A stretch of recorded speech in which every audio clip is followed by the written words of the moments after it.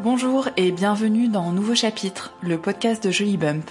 Je suis Marie Boyer-Aubert, la fondatrice de Jolly Bump, première marque française qui propose une mode durable à porter avant, pendant et après la grossesse.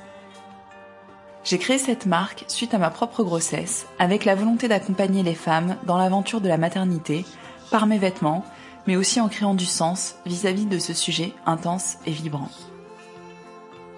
Ce podcast, c'est le blog audio de Jolly Bump.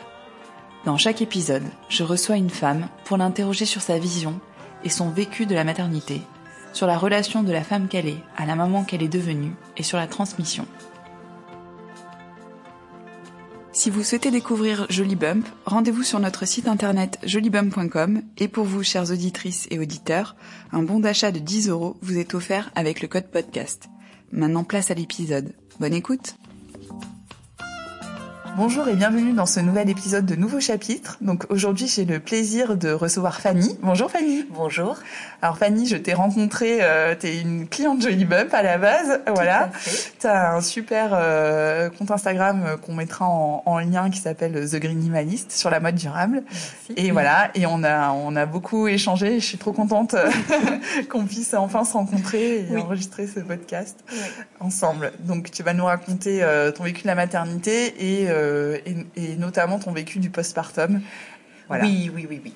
Donc, euh, est-ce que pour commencer, tu, pour qu'on apprenne à mieux te connaître, tu peux te présenter, s'il te plaît, Fanny? Alors, je m'appelle Fanny, euh, j'ai 40 ans. Oui. Euh, j'ai deux enfants, un, un, garçon de 3 ans et demi qui s'appelle Vladimir et une petite Alma de 5 mois. Donc, c'est tout frais, tout récent. Dans la vraie vie, je suis juriste et en même temps, euh, j'ai une page dédiée à la mode éco-responsable et c'est dans le cadre de cette page-là que j'ai connu Jolie Bump, avec ses engagements et toute sa traçabilité et ses beaux modèles. Ah, merci. Je vais commencer par euh, la question rituelle de nouveau chapitre, c'est savoir comment euh, tu as appréhendé ton désir de maternité, euh, comment il est venu, est-ce que tu as toujours eu envie d'avoir des enfants?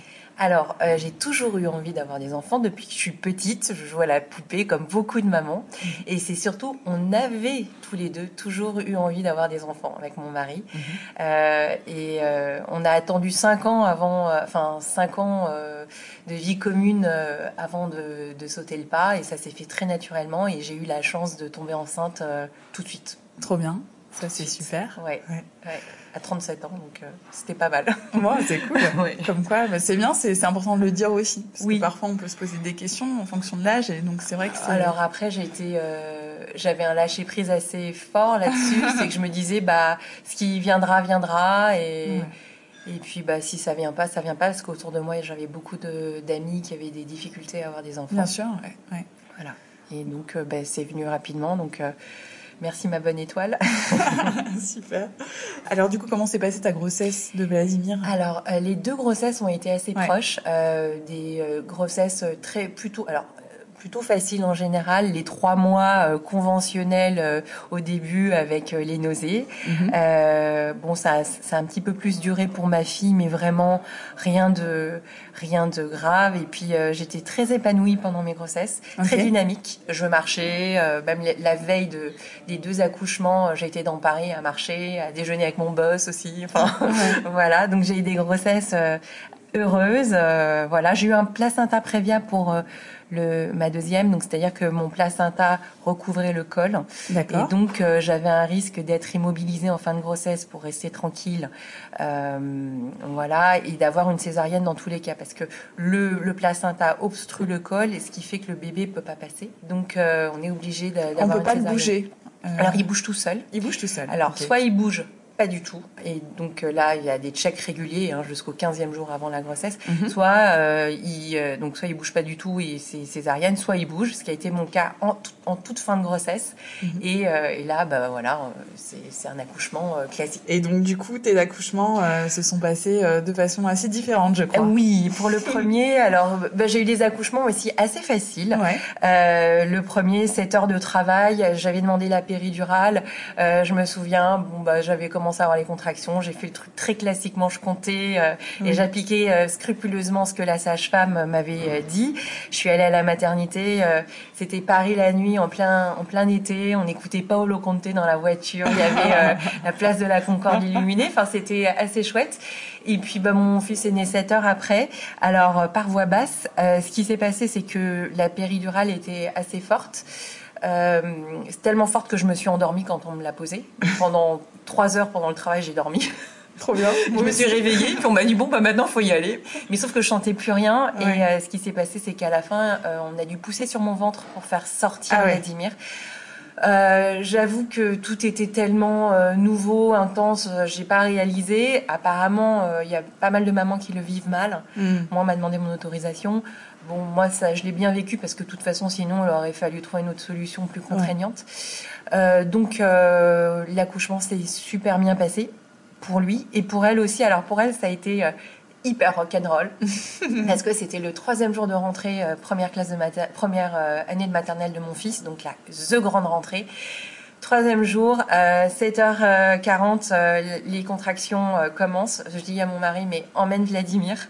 Il emmène Vladimir, il prend la voiture, on traverse Paris en brûlant tous les feux rouges, un peu en mode cow-boy. C'était l'heure de pointe. Euh, et en fait, je suis arrivée à la maternité, j'ai accouché 15 minutes après. Ah euh, donc incroyable. Pas, le temps. En fait, on a, euh, on a, j'ai failli accoucher dans la voiture. Ah ouais. Euh, je sentais que c'était très très fort, mais j'ai fait beaucoup de yoga, donc je, et puis je voulais pas montrer à mon mari que voilà, j'avais quand même super mal. Et donc j'ai essayé de maîtriser ça avec le souffle. J'ai écrasé ma douleur avec le souffle, et puis bah je suis arrivée. On a à peine garé la voiture. On l'a pas garée en fait. on, nous a demandé mais qu'est-ce que vous faites Et là j'ai dit bah, je perds les os. Il y a une dame qui m'a mis sur une chaise roulante, on m'a mis sur la table de travail, j'ai même pas eu le temps d'être branché sur quoi que ce soit. Et là, même pas monitoring, hein, ah zéro. Mais non, incroyable. On m'a dit trois poussées, votre enfant est là, et je l'ai sorti. Euh, je l'ai sorti moi-même. Et c'était euh, incroyable. Donc euh, beaucoup de chance parce que donc pas de péridurale, pas de douleur, enfin pas de pas de si beaucoup de douleur, mais ça n'a pas duré longtemps. Donc c'est un souvenir qu'on oublie en fait. Hein. Mhm. Et puis euh, le fait de ne pas avoir eu de péridurale euh, comparé à la première fois, euh, je trouve que le corps s'en remet beaucoup, beaucoup mieux. Ah oui ah À quel niveau tu penses? Alors tout de suite, c'est-à-dire que l'après-midi, j'étais prête à aller danser. Je mhm. pouvais traverser Paris, j'étais tout de suite debout. Ah Et j'avais une énergie de folie. Et même après, j'ai trouvé que j'étais physiquement remise sur pied bien plus rapidement. Ok. Alors aussi, j'avais pas eu des, des, heures et des heures de, de, de, travail. Donc, euh, voilà, c'est une expérience un peu particulière. C'est génial parce que tu as vécu les deux. J'ai vécu les deux et, euh, et, je sais quelle est ma préférence. L'accouchement express sans péridurale. Voilà, mais même sans péridurale, mais bon, enfin vraiment passer euh, par le truc pour le savoir et pour connaître comment on réagit. Euh, mm. donc je, je recommande absolument rien en fait. Chacun fait comme il le sent. Bien sûr, bien sûr. Donc on va parler de tes postpartum parce que c'est là-dessus qu'on a échangé. Tout à je me souviens pour quand même mettre nos auditrices au, au courant, on a discuté longuement quand moi-même je venais d'accoucher, toi aussi, peu de temps avant, euh, voilà, sur, euh, sur nos postpartum respectifs. Oui. Et donc on s'est dit, il faut vraiment que qu'on fasse quelque chose de, de, cet échange. Et donc voilà, c'est intéressant parce que toi, tu as eu des postpartum pas simples, comme ça peut arriver parfois. Et je trouve que c'est, ce qu'on se disait, c'est que c'est très intéressant de pouvoir euh, parler de ça et, et échanger là-dessus. Donc raconte-nous ce qui s'est passé après la naissance de Vladimir. Alors déjà, je vais prévenir toutes les mamans et futures mamans, c'est que mon expérience. Donc on est unique, hein, on se le rappelait avant. Chacune a son expérience, donc je veux pas euh, décourager certaines mamans et je voudrais remonter le moral de d'autres mamans. Donc euh, voilà, ça dépend vraiment de chacune. en tout cas, après des grossesses et des, accouchements relativement euh, heureux, facile. Euh, je me suis retrouvée euh, avec mes bébés à l'hôpital, euh, avec le premier surtout complètement désemparé. Alors moi, le postpartum, qu'est-ce que je peux vous dire en quelques mots? Je trouve que c'est une période qui est très intense, qui est très remuante, parce qu'on met en, on met en jeu énormément de choses. on passe de l'enfant 2 à mmh. maman 2, donc on change de statut. On se pose toutes ces questions. On a un petit bébé, tout mignon soit-il, mais on se dit bah maintenant c'est parti pour la vie. Il faut définir son rôle. Euh, savoir comment on va éduquer cet enfant. Euh, voilà, enfin, il y a quand même des questions euh, fondamentales qui, qui, qui, qui s'entrechoquent. Et puis, en même temps de ça, de, de, de tout ça, il faut aussi faire face à la problématique de trouver sa place en tant que maman, en tant que femme, en tant que, enfin, compagne, Bien sûr. voilà, petite sœur, grande sœur, mm. tout ça. Donc, euh, euh, surtout par rapport au couple, parce qu'on n'a jamais été confronté en tant que couple à, à, au fait de devenir une famille. Mm-hmm. Donc, euh, il y a vraiment plein de choses qui s'entrechoquent. Et en même temps, on a un tout petit bébé qu'il faut, euh, il faut s'en occuper, euh, il faut apprendre à le connaître, il faut apprendre à se connaître en tant que maman, euh, voilà. Et puis il y a plein de choses techniques au début. Donc c'est une période vraiment, vraiment, vraiment très, très remuante, même si d'apparence, on, il se passe pas grand chose. On reste toute la journée avec son bébé à la maison. On se dit bon bah, oh elle est en congé mat quoi. Limite elle se repose. Et en fait à l'intérieur ça bouillonne, ça bouillonne et, et puis ça se pose beaucoup de questions. Ouais. Et du coup, euh, ce qui est enfin, ce qui est intéressant, je pense, de partager, c'est que ton fils, j'en ai, je, n'ai pas été confrontée à ce cas-là, j'en ai entendu mm. parler un petit mm. peu via les réseaux sociaux, et ça, mm. ça a l'air d'être quelque chose d'assez intense. Ton fils a eu un RGO, en fait, un reflux euh, gastro-œsophagien. Exactement. Alors, avant de lui diagnostiquer le RGO, on a eu euh, une longue période d'inconnu avec, en fait, mon, mon fils avait des coliques. ça a commencé à son neuvième jour de vie, donc très tôt. Très tôt. Les neuf euh, premiers jours Impec, rien, rien. Bébé très très calme, euh, une énergie mais vraiment euh, très sereine qui se dégageait de mon fils. Et aujourd'hui, c'est encore le cas. C'est un bébé très très calme. Ah oui, bébé. Non, c'est plus un bébé. Le lapsus, c'est un petit garçon très calme. On veut, c'est toujours nos bébés. Pour toujours. c'est ce que je lui dis. Et donc, neuvième jour de vie, il a commencé à avoir des pleurs intenses, mhm. complètement. Enfin on n'arrivait pas à comprendre en fait. Euh, ça s'intensifiait, ça, ça, venait surtout en fin de journée, quand le soleil se couchait. Mhm. Euh, alors là, c'était l'apothéose, des cris, des cris, impossible de calmer son bébé. Donc euh, déjà, on arrive de la maternité, on apprend à peine à se connaître et on a un bébé qui pleure non-stop. Mhm. Donc je savais pas quoi faire. Je suis allée voir le pédiatre qui m'a dit, et puis la sage-femme qui m'ont dit, bah ça doit être des coliques, c'est normal, madame, rentrez chez vous, circulez, il y a rien à voir qu'est-ce que c'est des coliques? On n'avait pas du tout expliqué ce que c'était. Donc euh, j'ai fait comme toutes les mamans, je suis allée sur Doctissimo à 3 heures du mat, à faire tous les, toutes les pages parents.fr, toutes les pages liées euh, aux problématiques euh, des nourrissons. Mhm. Et là, euh, j'ai découvert un truc. Euh, en gros, bah, c'est euh, c'est une immaturité. Ça serait une immaturité du système digestif des bébés qui ferait que bah, il avale de l'air, que la, la, digestion est compliquée et donc bah, ils se ça leur fait mal. Je précise qu'il faut savoir parce que c'est important de savoir que ça arrive dans tout, dans ce que ça n'a pas de lien avec l'alimentation du bébé, parce que toi tu l'as. Exactement. Et je pense que ça arrive à la fois des mamans allaitantes et à la fois des mamans non allaitantes arrive voilà. à tous les bébés. Euh, pareil, enfin à, tout à, tous les bébés. Il n'y a pas d'explication. Il n'y a pas de rapport avec le type d'alimentation. Non. Et même, j'ai failli remettre en cause mon allaitement à cause de ça. Parce que je pensais que mon lait n'était pas bon. Euh, voilà. Donc, j'étais confrontée à un bébé qui pleurait. Euh, j'ai vécu ça comme un traumatisme. Parce que. Il pleurait tout le temps, en fait 14 heures par jour. Ah ouais. Ça me paraît. parce que même lui, il devait être épuisé. Non il était épuisé, il avait des spasmes. Euh, oh de, pleurs, il était tout rouge. Euh, et puis, ben, on est euh, nouveaux parents, totalement impuissants par rapport aux pleurs de son enfant. On ne sait pas dans quelle mesure il a mal. Et surtout, on vous dit qu'il n'y a pas de remède. Parce que oui, qu'est-ce que te disaient les pédiatres Alors, les, les, coliques, ben, y a pas de, le, le, système est immature, donc il n'y a pas de remède. Il y a des petites choses. Alors, je vais vous dire, j'ai tout, tout essayé, mais vraiment parce que mon, mon objectif numéro un, c'était le bien-être de mon fils. Donc il fallait que je trouve euh, la solution. Euh, donc j'ai essayé de changer mon alimentation. Je n'ai mangé que du fenouil. Euh, j'ai pris des tisanes de fenouil. Enfin c'était horrible. Hein. Pourquoi le fenouil c'est Et eh ben parce qu'en fait ça enlève les gaz. D'accord. voilà donc mais c'était c'était très contraignant. Ça n'a pas marché. Je lui ai donné de l'eau de chaud. Enfin ça n'a pas marché. L'ostéo, l'homéopathie. j'ai vraiment j'ai dû essayer une vingtaine de trucs qui n'ont pas marché. sur Internet qui n'ont pas marché. Donc en fait, c'est passé tout seul. Ça? Alors, déjà, on lui a diagnostiqué au bout d'un moment. Et, euh, en fait, euh, j'allais voir tous les mois le pédiatre, moi un petit peu plus souvent. Et euh, donc, il a commencé à se poser des questions. Il a dit bon, alors le problème, c'est que votre fils n'a pas de reflux en tant que enfin en, soi, puisqu'il n'a pas du lait qui sort mmh. par jet à chaque fois qu'il a une tétée.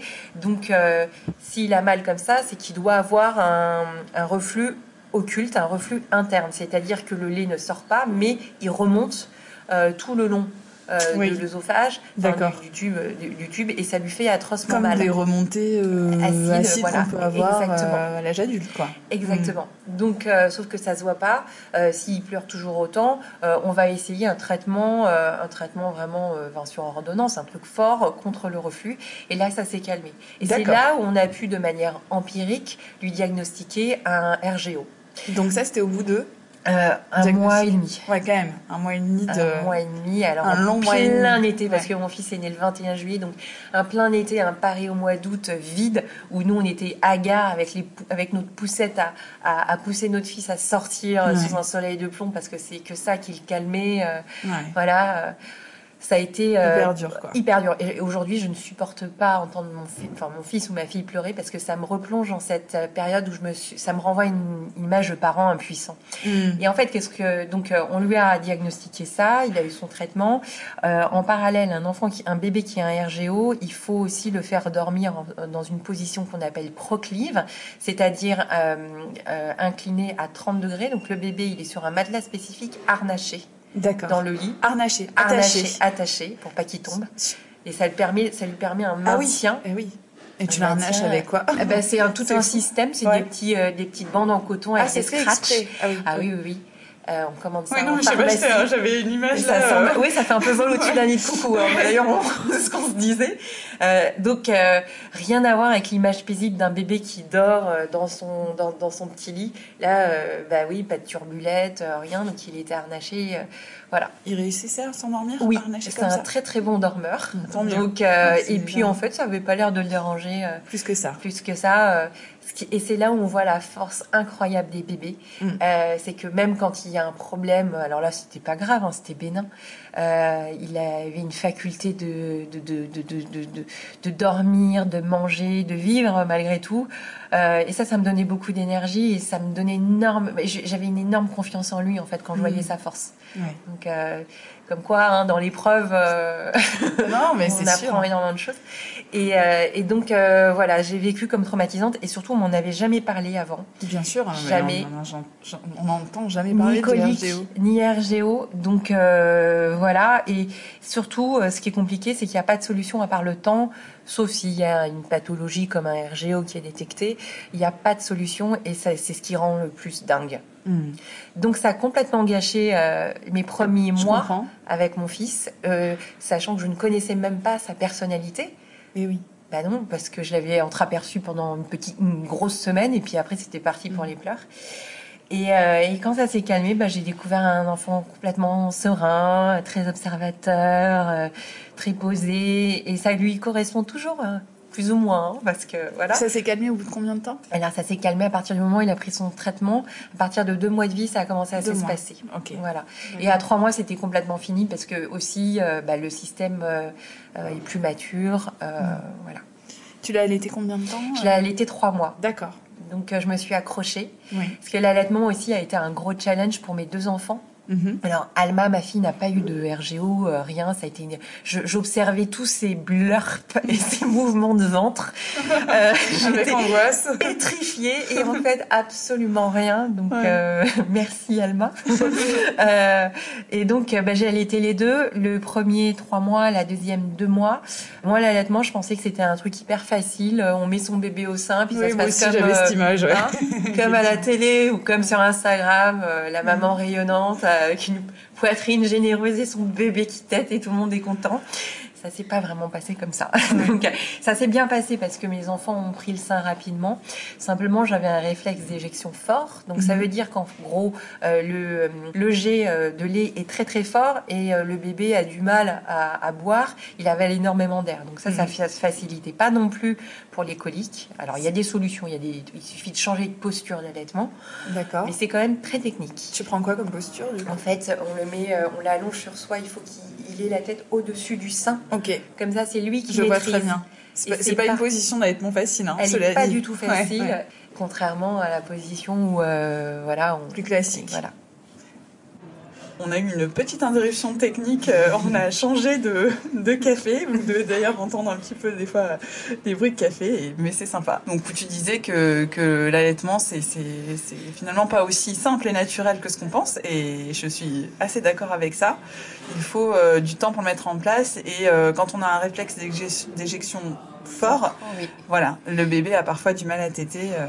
J'ai eu des mastites aussi. Ah oui, j'en ai eu une moi, et j'avoue c'est fait mal. Hein. C'est extrêmement douloureux. Alors, est-ce que tu peux nous expliquer pour les auditrices ce que c'est Les canaux lactifères qui sont bouchés. Quand on a, c'est quand on a beaucoup de lait. Exactement, quand on a trop de lait, ça se bouche. Et en fait, ça fait extrêmement mal. Mm. Voir, ça donne de la fièvre. Moi, bah, j'ai eu de la fièvre, euh, un peu, j'étais un peu délirante. Hein, euh, euh, en fait, les mêmes symptômes qu'une très grosse grippe, grosse fatigue et tout ça, et je comprenais pas. Et en fait, bah, le médecin m'a dit que j'avais simplement une mastite. Et donc, bah, la solution, c'est de masser, de donner la tétée, puis de masser pour vraiment libérer les canaux. Mm-hmm. Parfois, et aussi de prendre des médicaments. Enfin, oui, tout à fait. J'ai dû en prendre. Et donc, bah, j'ai découvert l'envers du euh, l'envers de l'allaitement.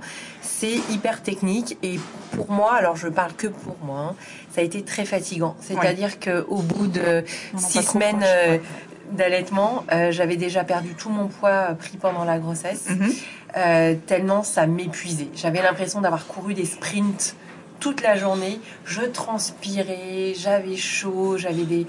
Enfin voilà, ça m'a mis dans des états euh, physiques euh, secondaires. Et euh, ouais, ça m'a beaucoup, beaucoup fatiguée. Tu penses que c'est l'allaitement qui t'a fait perdre ton poids Alors ma mère m'avait dit que ça, lui avait fait la même chose. D'accord. Et ma grand-mère aussi. Donc j'ai l'impression que c'est un peu un truc qu'on se traîne. Et puis la fatigue, bien évidemment. Hmm. Hein, parce que ça, c'est le, le deuxième problème, euh, enfin le, plus gros problème, je pense, quand, euh, en postpartum, mhm. c'est que euh, ben, on dort très peu parce que quand on, allait ou pas, hein, bébé a besoin de manger la nuit, tout ça est très nouveau et puis on ne sait pas comment rendormir son bébé nécessairement sans que ce soit tout le temps au sein ou au biberon. Mhm. il faut trouver le mode d'emploi aussi pour endormir bébé, hein, parce qu'il n'est pas livré avec. C'est sûr. et puis ils sont tous différents. C'est pas parce qu'on l'a trouvé. ah oui.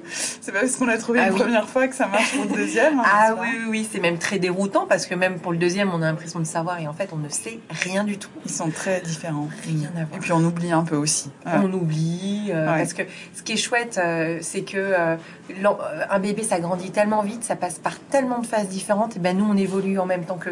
C'est-à-dire qu'une fois ils ont franchi un cap, avec eux, on passe à autre chose. Mm. Voilà, une fois qu'ils sont plus allaités ou qu'ils sont euh, et qu'ils mangent des solides, ben maintenant ça y est, on est parti dans la diversification mm. et c'est une nouvelle aventure. Donc euh, c'est comme si la mémoire scratchait les épisodes euh, précédents et qu'on était parti dans autre chose. Alors c'est pour ça qu'il y a beaucoup de mamans, et moi la première, hein, parce que je l'ai vécu surtout pour ma deuxième grossesse et mon, deuxième bébé, j'avais complètement oublié ce qui s'était passé, voire je me surprenais à avoir réécrit l'histoire quand je parlais de mes de mon enfant. C'est marrant ça, ouais. ouais. Et, même ma première impression quand j'ai eu mon fils, c'était mais toutes les mamans sont un peu mythomanes, hein, parce qu'elles elles me disent non, euh, c'était parfait, super accouchement, machin et tout. Et pourquoi pour moi c'est aussi dur euh, mm. Pourquoi c'est pas comme ça? En fait, euh, j'ai compris, c'est que bah, c'est super bien fait. on a un rapport à la mémoire qui est complètement différent à partir du moment où on a un enfant. C'est vrai. Euh, on a tendance, et c'est ça qui est bien, de toute façon dans la vie en général, tendance à se souvenir finalement que du bon. Mais c'est vrai que c'est important aussi de, de, témoigner sur, euh, sur euh, le bon et, aussi pour se préparer parce que chaque postpartum est différent, comme tu le disais au début. Et parfois, ça peut être plus facile que ce qu'on imagine et parfois non. Donc c'est bien d'être préparé aux, deux cas. Et puis alors, là, qui dit allaitement dit un moment sevrage. le sevrage est aussi une problématique en soi. mhm. Parce que bah, l'allaitement, ça a créé une proximité de dingue avec son petit. Hein. Euh, moi, je faisais plus la différence entre le jour, la nuit, mon, mes enfants, moi, euh, tout ça ne formait plus qu'un, parce que ma fille avait besoin de manger parfois jusqu'à 15 fois par jour. Donc elle était greffée, c'était une extension de moi-même. Moi, j'étais une extension d'elle, on, on, ne savait plus trop. Et donc, euh, et donc bah voilà, c'est une, une, séparation, c'est la première séparation à gérer avec son enfant. Mhm. C'est pas facile. Euh, J'étais tellement épuisée que de toute façon, pour moi, euh, j'allais pas l'allaiter plus longtemps que trois mois. Et puis j'ai pas tenu en fait. Au bout de deux mois, j'ai eu un trop plein, une fatigue extrême. Euh, J'y arrivais plus. En fait, même allaiter devenait un déplaisir. Mhm. À partir du moment où ça devient un déplaisir, on n'a plus envie. Euh, ben, faut pas se forcer, mais en même temps, je culpabilisais parce que ça allait à l'encontre de, de, mes principes. Je voulais donner le meilleur à, à ma fille. ça a été très compliqué. Et puis, euh, donc, euh, ben, je, n'y suis pas arrivée tout de suite. Mhm. euh, j'ai acheté plein de tétines différentes, des biberons, et je mettais ça sur le coup de la technique, mhm. et alors que c'était moi qui n'étais pas prête. Ouais. Et euh, c'est important de se, de se l'avouer aussi quelque part. Ah oui parce que j'étais pas prête du tout. Il faut vraiment qu'on, faut vraiment être bien aligné avec soi-même. C'est pas évident parce que c'est une période où il y a plein de choses qui se jouent. Il y a une fatigue extrême aussi parce que moi je dormais peu et le manque de sommeil est, très difficile pour moi. Je suis une marmotte, hein, donc euh, on me prive de sommeil. C'est, comme si je rentrais dans une vie parallèle euh, qui était une matrice très négative en fait, hein, euh, où, je vois tout en noir, je vois du noir et en même temps il y a plein de trucs qui se jouent. Donc période hyper chargée. Et puis, euh, et puis bah, finalement, euh, euh, la question du sevrage, la question de, de, de, de, la fatigue et surtout la question de la déprime, parce que moi j'ai fait une grosse déprime en postpartum. D'accord. Euh, justement parce que euh, j'étais euh, les 60 premiers jours après l'euphorie de la naissance, bah, je passais ma vie en pyjama hein, ou, en, ou ma jolie robe jolie bump, qui était mon, mon, mon outfit de sortie en fait. où là je commençais un peu à redevenir moi-même, donc ça m'a beaucoup aidé. C'est vrai que le vêtement aide beaucoup, hein, on ne le dit pas. Je suis bien d'accord avec ça, effectivement. C'est comme ça qu'on se réapproprie son corps, qu'on redevient soi-même et que les choses se mettent aussi en perspective. Mhm. Euh, ça en fait partie. Et donc, euh, ben, j'ai eu une déprime parce que euh, je m'étais complètement oubliée, parce que euh, euh, quand mon fils avait des coliques, c'était son bien-être avant tout. moi, je passais après, alors que j'étais toujours passée en premier jusqu'à présent. Mhm. Donc, voilà, j'ai eu une déprime avec ma fille parce que j'avais un aîné à gérer, j'avais sa jalousie, son positionnement en tant que grand frère, moi en tant que maman de deux, nous en tant que famille de quatre aussi mm. à gérer, donc ça n'a pas été facile. Et puis je voulais que tout se mette en place tout de suite, alors que c'est complètement idiot. Euh, il faut du temps au temps, il mm. faut que les choses se mettent en, en place. Il bah, faut des semaines. mon fils, il s'est senti grand frère et Vraiment, il a, dû, il a eu besoin de 3-4 mois, quoi. Ouais, je comprends. C'est oui. normal. En fait, c'est à partir, moi j'ai remarqué que c'est à partir du moment où le bébé commence un peu à interagir avec le grand. Exactement. Qu'il y a quelque chose qui se passe. Exactement. Et que c'est plus facile. Parce que mon fils pensait que ma fille, en sortant de, du ventre de maman, allait marcher, manger, chanter. Et c'était pas le cas. Donc, mm. euh, il a vu un bébé qui bougeait pas et c'était compliqué et toute l'attention était portée sur le bébé. Donc euh, vraiment une grosse phase de déprime. Euh, je me suis sentie très isolée par rapport à mes questions techniques d'allaitement, euh, par rapport au sevrage, euh, par rapport aux coliques aussi. Bah, les papas en France, ils ont que quelques jours de congé paternité, donc ils doivent retourner au travail. On est toute seule à la maison en pyjama avec son bébé. Euh, ça n'a pas été une période très heureuse pour moi parce que en fait j'avais perdu ma boussole, mon mmh. bon sens mon libre arbitre. J'arrivais plus à, décider de quoi que ce soit. Donc, euh, je trouve qu'à partir du moment où on n'a plus les ressources en soi mhm. pour trouver des solutions, euh, c'est là où il faut, euh, c'est là où on n'a plus vraiment le choix et il faut faire appel à, quelqu'un. Mhm. Donc, et trouver, enfin, et voir comment on peut se reconstituer soi-même. Et donc, euh, bah, pour ma fille, euh, j'ai euh, été à la PMI. Je savais même pas. Moi, je pensais que la PMI c'était l'endroit où on pesait son bébé. Là, et il y avait des médecins, mais pas du tout. Ils ont, il y a aussi des puéricultrices. Il y a des psys aussi. Moi, j'en ai rencontré une qui a été absolument incroyable. À la PMI. À la PMI. elle m'a complètement déculpabilisée de tout parce que j'avais un, un, fardeau énorme de culpabilité. Je m'occupe pas assez bien de mon fils. Ma fille, c'est du déplaisir. Je ressemble à rien. bon, voilà et euh, j'arrive à rien. Et euh, elle a été absolument géniale. Je l'ai vue euh, deux fois. Mm-hmm. Et euh, elle m'a mais tellement aidée, mais même pour des questions pratiques. Mm. Parce que ma fille, c'est un bébé qui adore être contenu, euh, qui adore être collé, euh, ce qui n'est pas le cas de mon fils. Elle a, elle a vraiment besoin encore de... Pendant longtemps, elle avait besoin de retrouver cette euh, position, là, enfin, cette, cette, sensation comme dans le ventre, d'être très proche de, de moi. Mm. Euh, donc j'ai été déroutée parce que mon fils n'avait pas du tout été le cas. Et alors, elle m'a donné des tips super concrets comme, bah, vous voyez, mettez-la dans un petit lit. Euh, où sa tête et ses pieds sont contenus. Comme ça, elle euh, elle, elle, elle est pas face à ce vide parce qu'un nourrisson vit l'espace différemment mhm. que nous-mêmes. Après avoir été dans un ventre euh, tout serré, ils affrontent le monde, donc il faut les aider. Et elle m'avait énormément aidé par rapport à des choses techniques et puis aussi par rapport à moi-même en tant que maman de deux. Et euh, je remercierai jamais assez cette femme. Et puis bah, la PMI, ils ont été euh, vraiment très chouettes. Alors ça c'est bon à savoir. Je ne savais pas. Et puis euh, et puis aussi j'ai, enfin pour mon fils, j'ai été en Bretagne en vacances. Mhm. On a été tous les trois en Bretagne. J'ai pris ça qui m'a permis, la distance m'a permis de prendre du recul. Et puis pour ma fille, je suis allée rentrer chez mes parents et là pareil. Ouais. Et en fait, il faut, bah là, c'est ma maman qui qui m'a cocooné. Oui. voilà. Ça c'est l'idéal. Hein, si c'est l'idéal. Euh, Alors ça n'a pas duré longtemps, c'était juste une journée, mais ça m'a. En fait, je me suis reconstituée comme ça. Et puis euh, après mon, j'ai réussi à s'ouvrir à ce moment-là ma fille. Donc mm. mon mari a donné le biberon. J'ai pu redormir. Euh, J'avais plus de culpabilité grâce à, à, la dame de la PMI et, euh, et j'ai remonté en fait comme ça un peu euh, la pente. Et j'ai retrouvé un peu les ressources, j'ai retrouvé ma boussole, mon bon sens et pour euh, écouter mon bébé parce qu'il faut une disponibilité pour euh, les observer. Il faut une disponibilité d'esprit, c'est vrai. Il faut, euh, je, dis, je, disais toujours, mais il est où le mode d'emploi pour les pour le dodo et pour le biberon, pour le sevrage, pour pour l'allaitement, pour la nourriture? Et, et donc, bah, à partir de ce moment-là, j'ai pu un petit peu ouais, prendre le temps de l'observer, avoir suffisamment de recul et puis juste l'écouter et voir ce qui était le mieux pour elle. Okay. Être à son écoute. Et ça a marché. Génial. Et aujourd'hui, alors euh, du coup, a 5 mois, euh, j'ai envie de te demander comment tu te sens, comment alors aujourd'hui, bah, depuis, euh, Alma euh, fait ses nuits, Alma se couche tout de suite à heure fixe, à 20h, elle est couchée, on a vu, c'est son petit rythme. Okay. Ça travaille encore la nuit, j'ai dormi 5 heures, hein, donc tout n'est pas non plus... voilà. Mais, mais les choses ont pris forme. Il faut beaucoup de temps. Il euh, faut être doux avec soi-même mmh. euh, parce qu'il y a tellement de choses qui s'entrechoquent. Euh, faut laisser le temps au temps. Et alors ma mère, à la sortie de la maternité, m'avait donné un super conseil. Mmh. Elle m'a dit je te donnerai qu'un seul conseil. Écoute-toi toi-même. Écoute personne d'autre.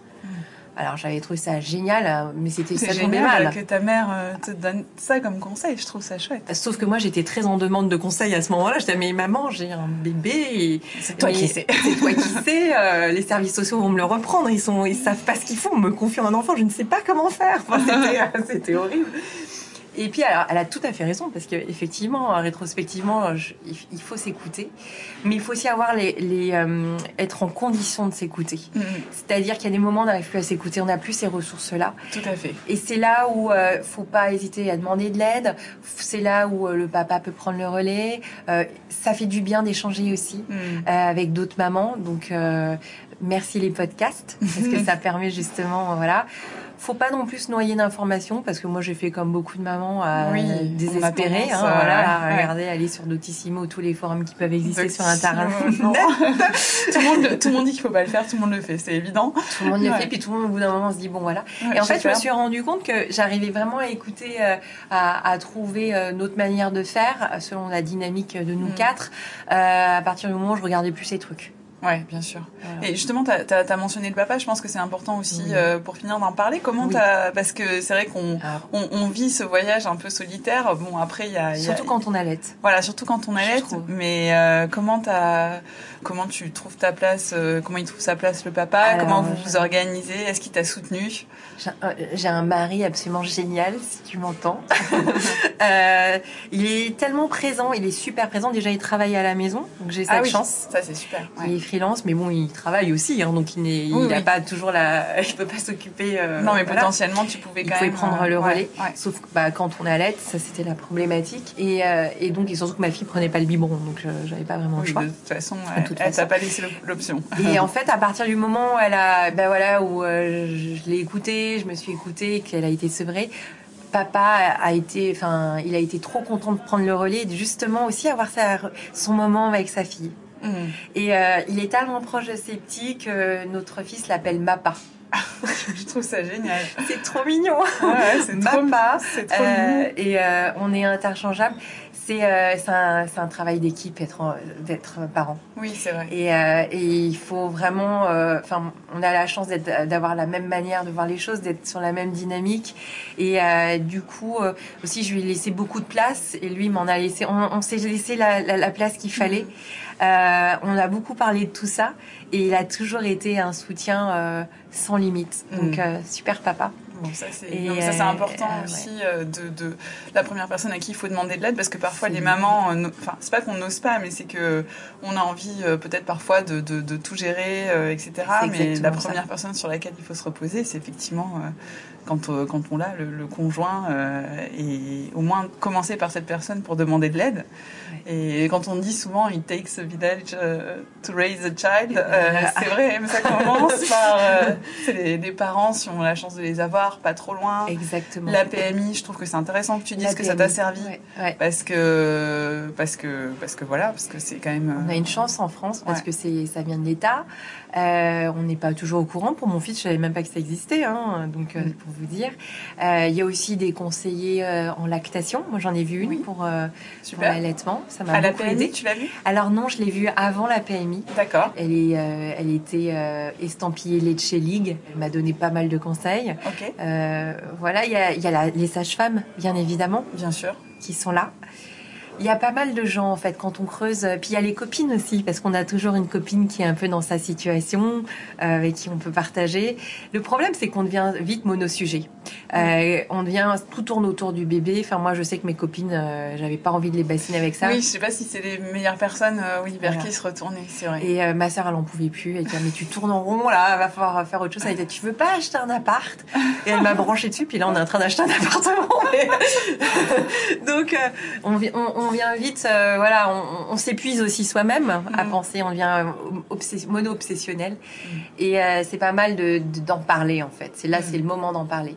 Tout à fait. Donc, il faut pas hésiter. Et puis alors, j'avais posté un truc, un post sur Instagram, sur mon compte, sur ce postpartum. Moi, les, deuxièmes, le deuxième mois est toujours très, enfin, le deuxième mois révolu et compliqué. J'appelais ça mes 60 rugissants.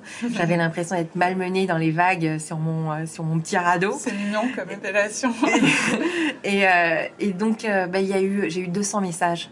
De mamans qui ont dit bah oui on n'en parle pas assez euh, ah c'est super que ce que tu partages parce que je suis dans la même situation mm. ah je savais pas que ça pouvait être comme ça les coliques tout ça donc euh, il faut en parler il faut aussi euh, voilà enfin si on a cette chance là et si, enfin vraiment la PMI, moi je recommande. Alors on j'ai eu des retours différents, mais bon après, bah, il y a plusieurs PMI. de personnes, hein, bien sûr. Il y, tout. il y a plusieurs PMI. C'est important de savoir que ça peut être euh, et qu'il y a, toutes ces, tous ces gens, des psychologues et tout. J'avais même pas, moi, qu'il y avait des, gens comme ça dans la PMI, pour être honnête. donc, oui, moi non euh, plus. C'est, euh, c'est la péricultrice qui m'a proposé. Il faut savoir qu'autrefois, tous ces, savoir, ces, ces savoir-faire de, de maman, c'était transmis par les familles. Qu'aujourd'hui, on n'a plus ça. Donc, euh, il faut trouver des relais. On se retrouve vite seul. Mm, mm. Et c'est une période où on est vulnérable et seul. Et bien heureusement, ça dure pas longtemps. Oui. Hein et euh, il faut rassurer les mamans, les futures mamans. tout passe. C'est une magnifique épreuve pour se tester soi-même aussi. Parce qu'un enfant, euh, bébé comme ça, tout petit, euh, il vous apprend qu'on peut jamais se reposer sur ses lauriers. Rien n'est acquis, rien n'est linéaire. Ce qu'on pensait voilà, de, de, de, sûr ne l'est pas forcément. Euh, bah, je sais pas, j'endors ma fille d'une telle manière, puis finalement, bah, ah, elle fait ses dents, elle pleure, ça marche plus. Il bah, faut toujours, faut toujours trouver des solutions, faut toujours rebondir. Euh, faut être hyper patient. C'est difficile parce que moi je suis pas patiente à la base. Donc euh, ils mes deux enfants m'ont apporté énormément de, de choses.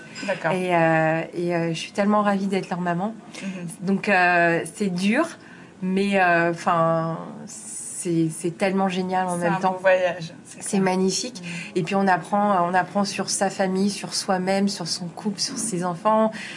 C'est, euh, je, revivrai ça, mais s'il fallait le revivre, je le revivrais. Voilà. C'est une belle, une belle conclusion. bah, merci beaucoup, Fanny. Merci beaucoup. Et puis à bientôt. À bientôt. Salut. J'espère que cet épisode vous a plu. Si c'est le cas, n'oubliez pas de vous abonner sur iTunes et de laisser un avis et 5 étoiles. Pour ne rien manquer des futurs épisodes et de l'actualité de Jolly Bump, rendez-vous sur Instagram at Jolly Bump et sur Facebook. À très bientôt.